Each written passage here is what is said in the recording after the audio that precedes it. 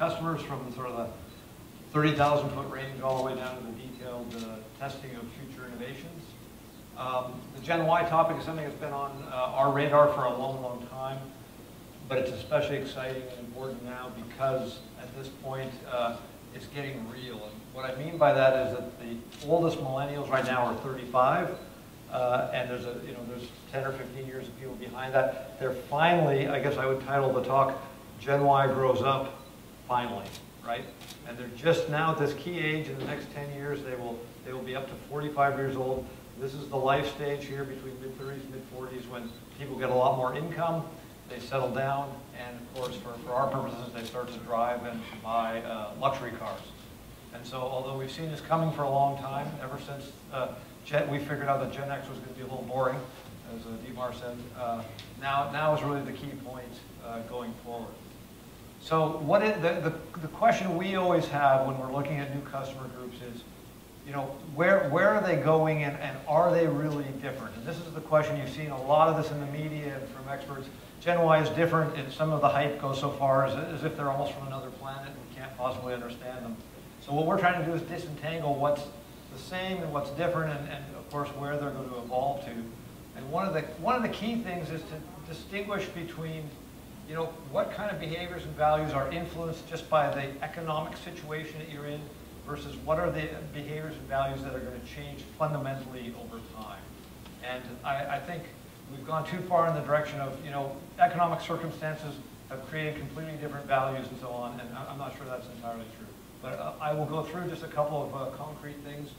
One of the main things about the questions about the whys is, you know, are they ever going to grow up? There was even a movie, as you know, called Failure to Launch. And uh, it is true that the boomers have, or the boomers, the Ys have been delayed in these adult milestones. That includes a career kind of job.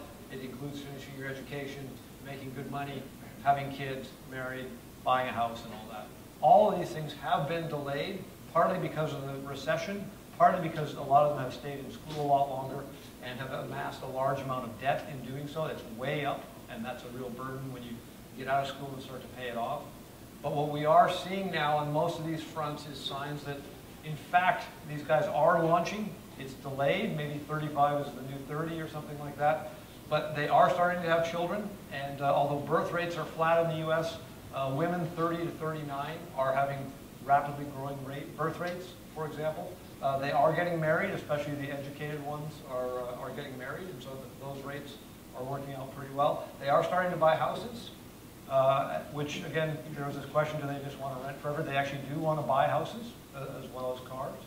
And so you see all these things, this so-called failure to launch is really just a, a, delayed launch.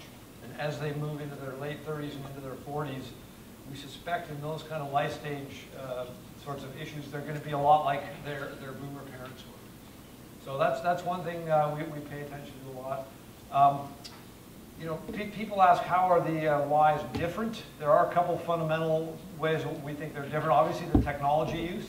Not all of them were actually digital natives. They were, in fact, the ones born in 1980 did not have the internet or a tablet when they were growing up. It wasn't until they were in high school that the internet sort of became popularized.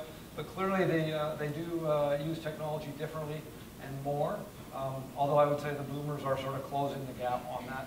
Another important thing with the uh, with the Gen Ys is that they're much more diverse in terms of uh, race and ethnicity and so on, and uh, overall much more tolerant of other ways of doing things. And so that's uh, important uh, uh, for companies to acknowledge, and it will eventually, I think, be quite important for politics. So those are, those are things, they're also much more educated in terms of how many people have a bachelor's or a master's degree. They're more educated than previous generations. Again, paying the price for that with college debt. But uh, they're, very savvy about uh, communication and they're very interested in uh, authenticity in the communication with the brands and so on. So um, a couple other things, uh, we've looked at the sharing economy, and again, this is one of the things Dietmar mentioned this. People, they're just going to want to share cars and share mobility rather than owning mobility. What we actually have seen in our research is these Gen Y customers have relatively high consumer aspirations. That is, they identify with very similar luxury brands to what their parents identify with. They don't have a completely separate group of products and brands and all that. They want a lot of these things. Because of they've been held back economically then, one way to get some of them is through the sharing economy, which is really, you know, in most cases, it's really the rental economy is what it is. Companies and business models have gotten more sophisticated about, about allowing people to have part-time access to something. But that's really what's going on, and as Dietmar said, ultimately, with houses, with cars, with other things, we think they, uh, they, they, are going to want to buy things and, uh, and own them permanently. Um, another, another thing we've looked at is there's a lot in the media about how, well, all the Gen Ys want to live in the cities. They're really going to be city dwellers and ride public transportation and uh, end up not needing cars.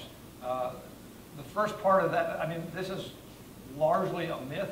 First of all, almost all Gen Ys today, despite what you read and see, is they do live in the suburbs already.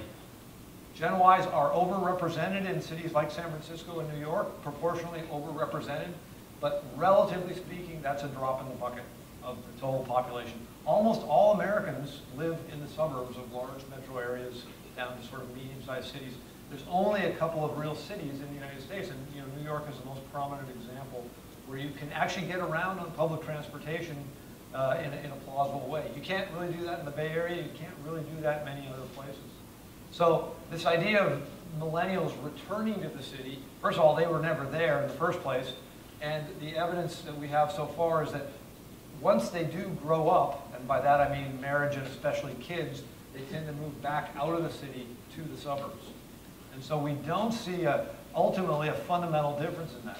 Once you do live in the suburbs, once you do have kids, you have to have cars. And so we think they're not actually going to be that much different than the Gen X or the Gen or the, the boomers before that in these fundamental life stages and in these, in these sort of fundamental behaviors.